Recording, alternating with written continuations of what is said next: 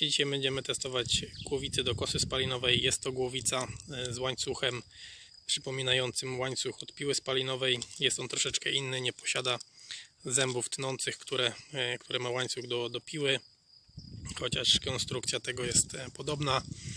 Głowica jest nakręcana bezpośrednio na, na naszą przekładnię. Posiada tutaj gwint, lewy gwint, tak więc musimy zdemontować standardową główkę na żyłkę i wystarczy ją nakręcić i tak naprawdę maszyna jest gotowa do pracy. Więc za chwileczkę sobie przełożymy tą głowicę i pójdziemy gdzieś w teren zobaczyć jak to działa.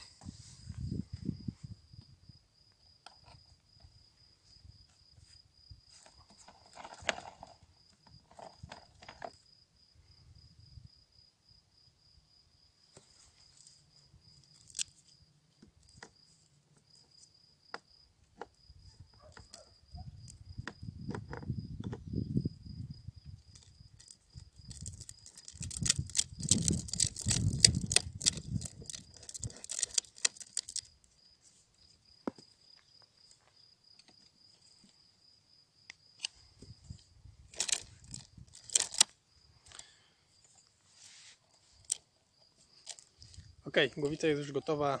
Odpalamy maszynę, idziemy coś ciąć.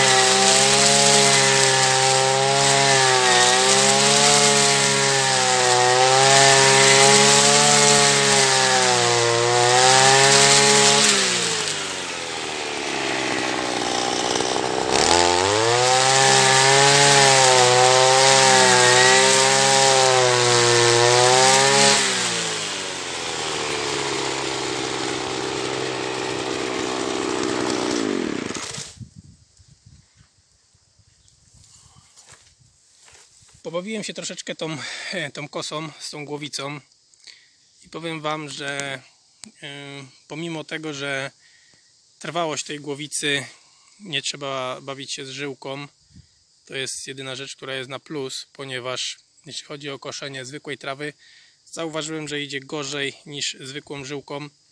Jeśli chodzi o takie grubsze rzeczy, które mieliśmy tutaj, no to idzie w miarę dobrze. Żyłka Żyłka by co jakiś czas się e, ścinała, trzeba było ją rozwijać na takich grubszych e, badylach. Tak więc tutaj tu bym postawił na plus, ale minusem jest, że nie idzie po takiej normalnym cięciu krótko ściąć, ponieważ nie wiem czy to widzicie, tutaj jest wysoko, e, wysokość jest od tutaj od tego odbojnika, którym możemy maksymalnie do, do, dojść do ziemi, a no tym, e, tym, tym łańcuchem, który jest tutaj jest gdzieś około 5 cm, tak więc taka wysokość cięcia, chyba że będziemy ciąć pod kosem, tak żeby krawędź e, nam ścinała i wtedy możemy dojść niżej, ale przy normalnym cięciu mamy ograniczoną tutaj wysokość, co mogę Wam nawet pokazać tutaj, gdzie ścinałem wcześniej. Zobaczcie, tu było cięte wcześniej e, żyłką, zwykłą główką z żyłką. Tutaj ściąłem tą kosą. Zobaczcie jaka jest różnica. Tutaj możemy wykosić praktycznie do zera, a tutaj już te 2-3 cm jest wyżej. Widać to gołym okiem, tak więc tutaj jest ograniczenie wysokości, jeśli chodzi o tą, o tą głowicę. To znaczy da się tym ściąć niżej, ale trzeba przekręcić po prostu głowicę. Tak więc tutaj takie moje spostrzeżenie, jeśli chodzi o to. A tak to idzie w miarę dobrze. Wiadomo, no tutaj jest ten element e, twardy, nic się tutaj z tym nie, nie, nie wydarzy, ewentualnie się to może urwać poprzez uderzenie w jakiś kamień czy, czy w jakieś e, konary drzewa.